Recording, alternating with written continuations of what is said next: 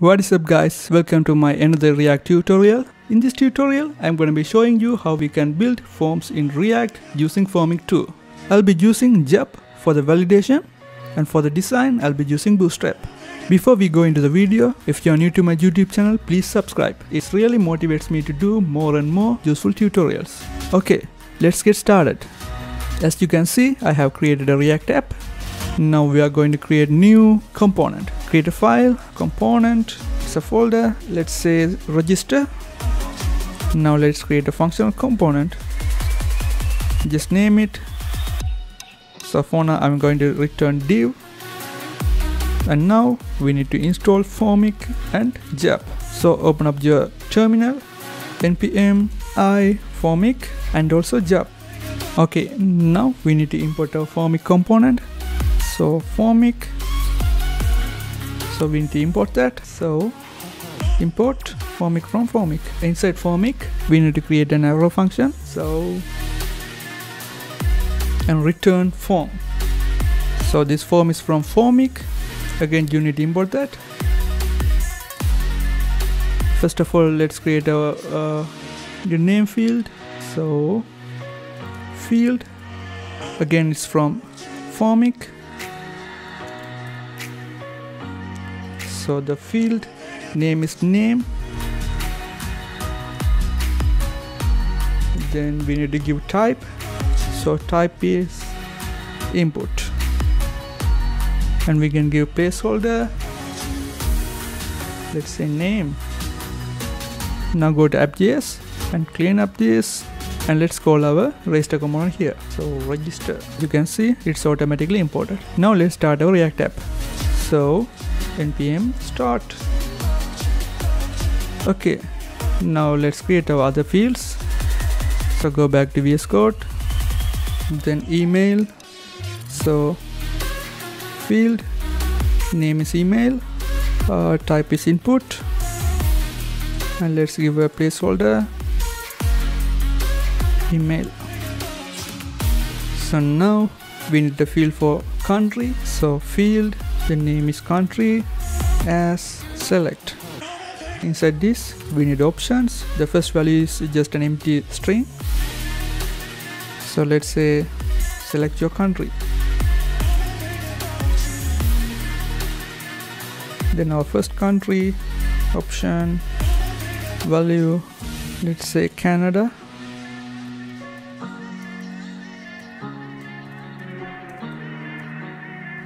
then Sri Lanka then India.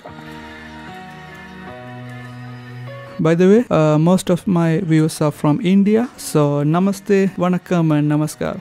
And now let's create a checkbox. So let's say uh, is married so field. So name is married. The type is checkbox and we need a label for this. So let's say label. Now let's create a field for gender. So let's give a label. Then we are going to create radio buttons. So we'll be having three radio buttons. One is for male other is for female and third one is for other genders. So field. Name is gender. Type is radio. The first value is male and we need a label for this. So label male. And let's do it for female. Let's copy this. And change the value as well. And again we need it for other genders. Yes copy. And change it to others. Uh, that's fine. Now we need to create our submit button. So here button type is submit. Okay now let's check our app okay. For now it's fine. Now let's go back to vs code. Then you need to give initial value for the fields. So inside formik initial values. First field is uh, name. Okay name. That's empty string now. The second one is email. The third one is is married. So by default it should be false. So false. Then gender. Then country. Now let's create our own submit function so inside formik on submit an arrow function that passes data and then just log it.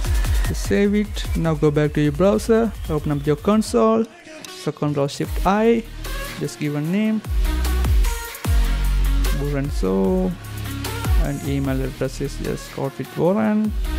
Select your country is married i'm going to leave it blank and select the gender and submit. It so you can see the form data here. Now i'm going to show it up underneath the submit button. So so in the arrow function say values and i'm going to print the value underneath the button. So inside pre-tag so json so stringify then values. It's null actually this uh, null and 2 will show the uh, data in a better way go back to your browser yeah you can see our data here. Let's type something. Yeah. It's working fine right? Okay now let's give some design using bootstrap. So just set bootstrap cdn open up the first link. Just copy this. Css link.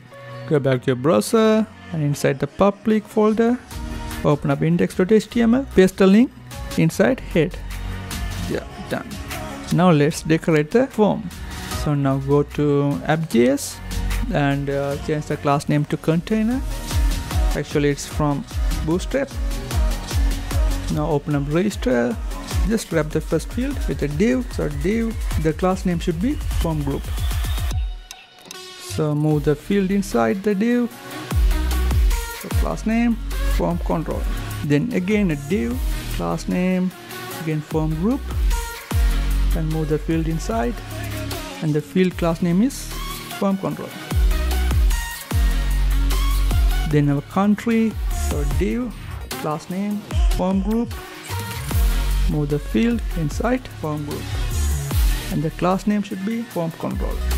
For the checkbox in div class name it should be form check.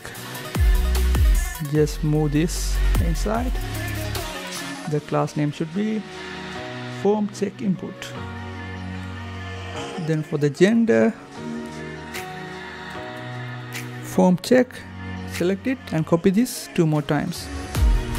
We need to move this inside first div then the second one then the third one. Then the final one is button so inside div the class name is form group and move button inside and we need to give class name for button. So class name btn it should be blue. So btn primary. And i'm going to move it to right. So float right. And now let's check our design. Right. So let's check it's still working. Yeah. It's working fine. Now we are going to do the validation part so we have installed Yup and we need to import it. So import all as Yup from Yup now we need to create validation schema. So let let's say validation schema Yup dot object dot shape then we need to say first field is name so there should be string and it's required. So Yup string and also it's required. Then email it should be string then it's an email. So email. So if it is not email we can give custom message. The email address is invalid. Then again it's required. Uh, then is married. So I don't want to give any validations. Uh, let's move to gender. So gender it should be string and required. At last country the same. It should be string as well as required then we need to pass the validation schema as a prop to Formik so here validation schema. It gives error messages so we need to say errors. Then we can show our errors under the fields. Let's create a field for error message. Underneath the field small so it should be red right? So class name text danger. Then errors. So the field is uh, a name. So errors.name so it will return any errors from the name field. Save this. Now let's go to the UI let's leave it empty. You can see the error message here. So let's refresh it and don't touch the name. And now come to email. Give the email address. And it automatically shows the uh, error message. I don't want to do like this. So just go back to VS Code. And here you need to say touched. If it is touch only uh, it should show the error message. So touched come here. If the name is touched touched dot name and also the name has error message and errors dot name you should return this component. So move this code inside or else it should be null. So just copy this and let's do it for email. So paste it under field and rename it. It should be email email and email. Now let's do it for country. And we didn't do any validation for married field. And let's do it for gender. So paste it. The name is gender. Save it. Now go back to your browser.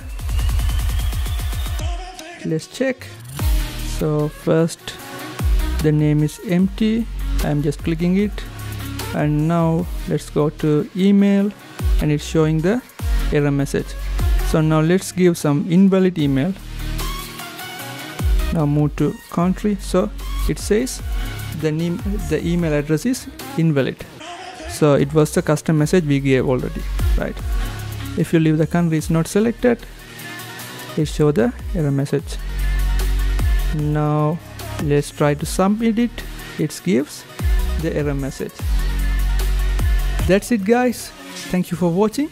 Please like the video and don't forget to subscribe my youtube channel. Thank you guys. See you in the next tutorial